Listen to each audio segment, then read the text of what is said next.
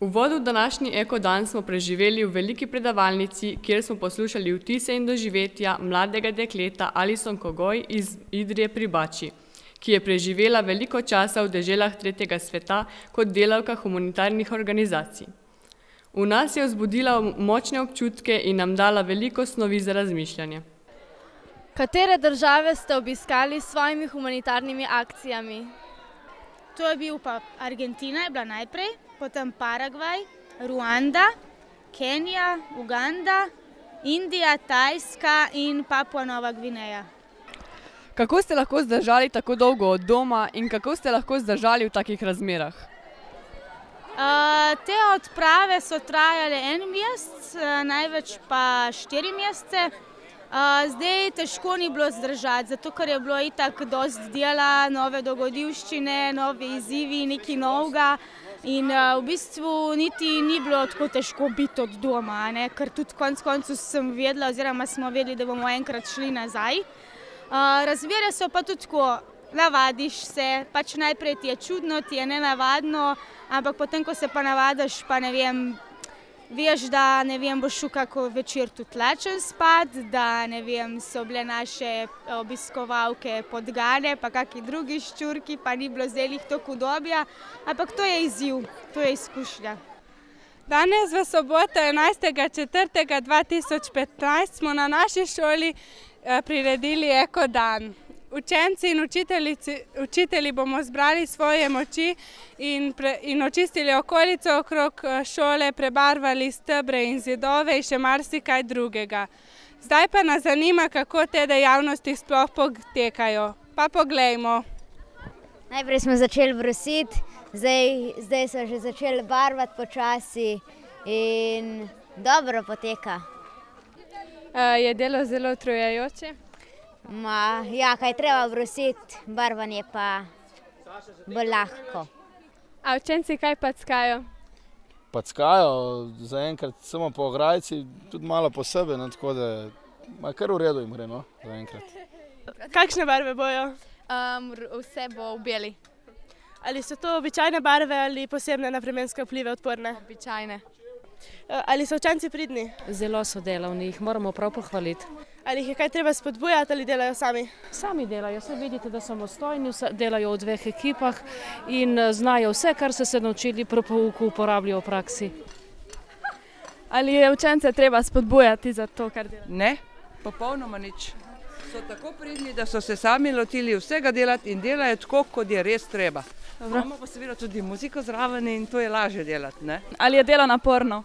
V bistvu ja, ker pač bo že šlo. Povejte mi, kateri razred ste?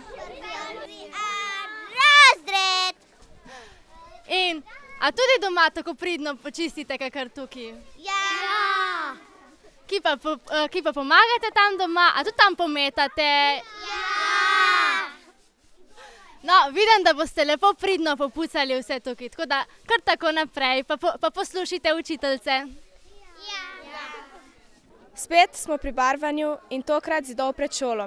Tu učence vodi in uspodbuja učitelj Lucijan Lavrenčič. Sodelujejo pa učenci izbirnega predmeta likovno snovanje iz 9. razreda. Kakšne barve ste si zamislili?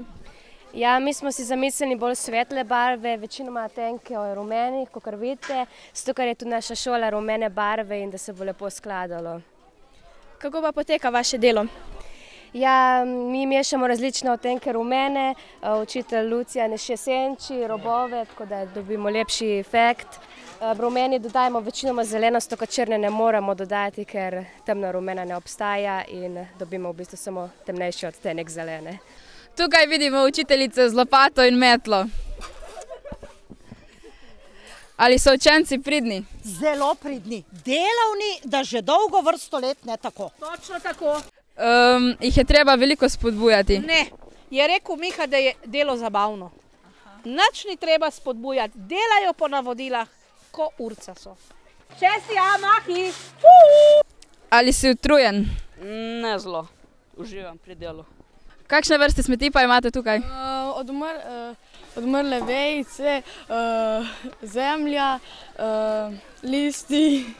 Učenci od prvega do četrtega razreda čistijo gozdiček pred našo šolo. A ti je zanimivo? Uh, ja. Kakšne pa odpadke si že pobrala? Um, največ eh, je kamnov in take stvari, pa tudi kakšna plastika. Kako se imate danes? V redu, Dobro, dobro. dobro. Se kar dobro, no. Ja. In uh, ki ste pobrali že do zdaj? Barva smo grajo, brusli smo grajo in pa Ja. tukaj pobiramo kamne. Ja. Id zemljo. Aha, a nagajate ki učiteljcam? Ne. Res ne. A imate od doma rokavičke ali so vam jih Imamo doma. Jaz sem vzel repeticijski črpalki. Me so se pa zaštrgale.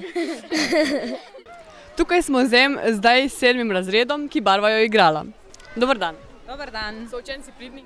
Zelo. Tle je skupina punc 7A razreda, ki so se zelo izkazale in pridno barvajo o- igrala. In uživajo. Uživajo. Učenci šestega razreda bodo očistili površine za našo šolo. Vprašali bomo, kako jim gre delo od rok. Ta prvo smo malo tukaj zgrabili in smo dali noter vreče, potem smo šli o, tam od zadaj za šolo, smo malo po grmih popucali, ker je bilo noter zelo smeti. Um, potem smo malo na in smo prišli nazaj in smo še malo televeje noter v, vreč, v vrečo dali.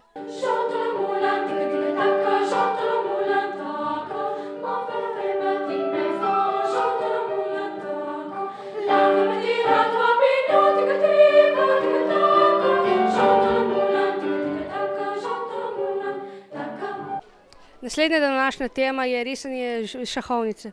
Zakaj ste se to pravzaprav odločili? Nam je zanimiv šah. Ali, bo bila, ali je to samo za okras, ali se bo tudi igralo? Ne, se bo zares igralo tle šah.